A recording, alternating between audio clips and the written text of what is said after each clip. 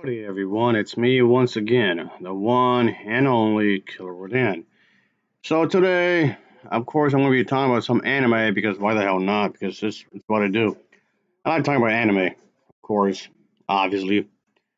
And just thought, uh, I'll just do this again, of course, because honestly, I feel like I don't talk about enough anime, even though I technically do. I've, I've said that before already, so I'm kind of repeating myself here.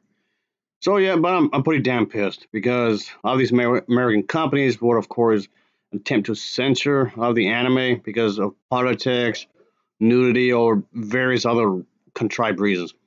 So I'm viewing the TV show, what is a certain segment of the TV show of Sailor Moon, Supers, of course. So okay, this is the edited version of Sailor Moon Super, Supers that was released on VHS tape. That's the one I'm talking about, folks. Just just so you know. I just thought again, I can't stress these enough. I'm gonna go a bit more specific here because this series was divided into two story arcs. This specific series, anyway.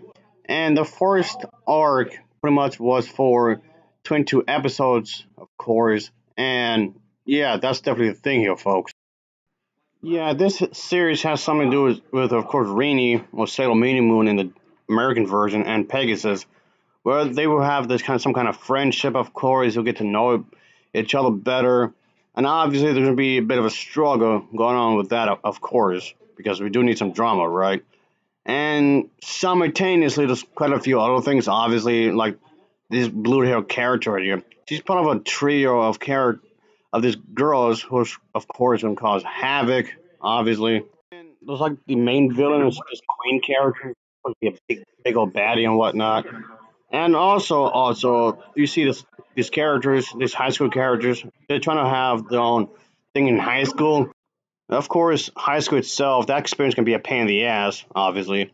And then outside of school, they try to go to the movies and just have their own thing going on, obviously characters may want to go maybe to the beach for a little while, um, act all googly eyed to the boys or what have you, and then or just have like a little snack somewhere. I'm just trying to do like everyday things, which of course isn't easy to do because considering the fact that yes, I have to save the world, obviously, which yes does have something to do with the fact that yeah in the future because it was sent to the past or whatever, and which is in regards of the fact that they will live on. It has something to do with planets, of course. Mm-hmm. When you think about it, obviously. Mm-hmm.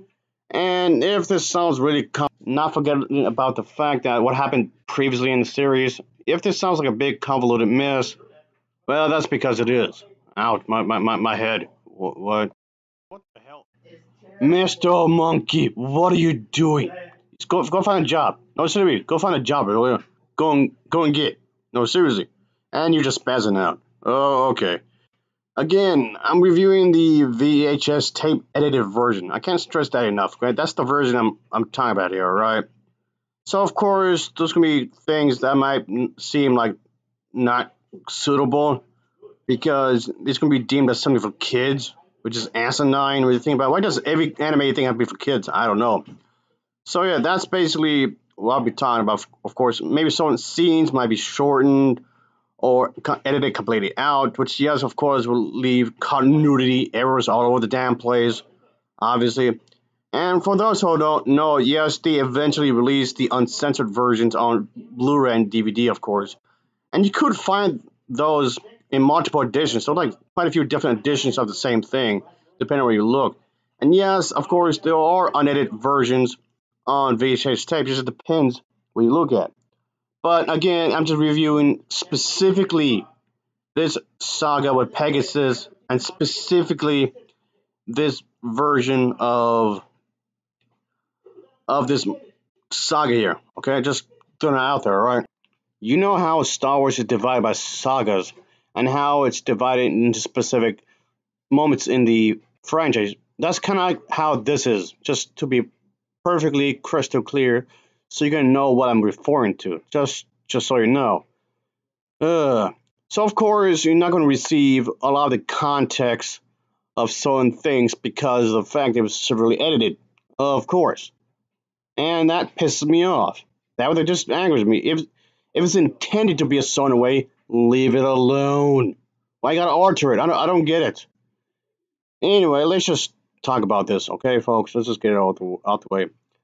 And okay, I mean, while I technically did review the this season, of course, but I'm just like I said, it's want to focus upon a specific part of the season because of the saga. Because, like I said, it was divided into two parts. This saga, anyway. So anyway, like I was saying, is that of course it's gonna focus on this group of enemies who, let's just say, trio to be more exact. Yeah, they will focus on this group of characters, of course, because uh, they're up to no good. Obviously, these group of characters, this trio, I mean, pretty much consists of Fisheye, Eye, and Hawkeye. They pretty much were created from animals, as you can guess for yourself, from this circus by this, let's just say this individual, to destroy the Sailor Guardians. Sailor Guardians being Sailor Moon and the rest of the gang, obviously. They each respectively target, uh, you say, a Scout to kill. The only exception is, of course, Sailor Venus, who is talking about some other individual, Zos, of course. So, yeah, let's just say that they're going to pretty much want to go after them because pretty much throughout this saga, of course, they want to basically go after the idea. Of course, it's going to be mostly focused on this real. Whole thing with Rini or Mini Moon or Chibi Moon, whatever you call her, and Pegasus just, will become important. It just depends on which uh, part of the saga that you're referring to, obviously. So anyway, again, like this queen type character, of course, would be pretty much given orders to this trio. Like I was saying, I mentioned two trios in this video. Like I was referring to the other one. Yes, they will eventually come to the part of the story later on, because there's like another different villain that comes into play. So I'm just trying to be precise as simply possible, of course I want to focus on three men, folks. Yes, you heard me right. The these characters are all three men. Yes, sirree. I know that may seem confusing because yes, I'm including this character. Yep. All three are supposed to be men, but it's just that one with the blue hair looks extremely, extremely feminine, just so you know. And so yeah, but in the American version, that was changed into uh, just a woman, which just seems weird if you ask me I don't understand as to what's the harm here. Okay, you want to show a really feminine looking guy in in a show, even despite the fact that said individual is a villain. That's that's not a remark towards, of course, anyone, any guy out there that looks feminine. That's not trying to say that these people are bad guys or anything. It's just because of the fact that it just happened that this individual is the villain. That's it. So, of course, in the American version, the lines of dialogue then were before said individual as a he, him, as a guy or whatever, was of course tweaked up to make it as if it was a straight couple kind of a thing. And no, this is not a stab towards gay people as well. It can be a good or bad person regardless. But my point being is that why can't you show this kind of individuals in the show? I don't this is a superhero show, right? So of course there's going to be a lot of people watching it. Superhero stuff, or, or should I say superhero and stuff, is very popular among people anyway. So you would think that this be a good way to have some representation. And yes, this show did get some positive feedback, well, at least the Japanese version. The Japanese version did get some positive feedback because it was being progressive at the time, which I would agree. But like I said, I'm just talking about the English bastard version that was released on the VHS tape, which a lot of people are familiar with. And so I'm sticking by that. But this uh, English version was also heavily criticized for having the villains be like outlandish, over the top, or just outright ridiculous, I guess. And also uh, distinguish the fact that the villains trio, the three guys, they have they at least in this version uh, of the show, they their personalities are pretty bland. You can't really distinguish them from each other they're pretty interchangeable. And in some ways, I can kind of see what you mean. Sure, okay. And then also concerning the fact, Mr. Monkey, what the hell? What are you doing? I told you to go get a job.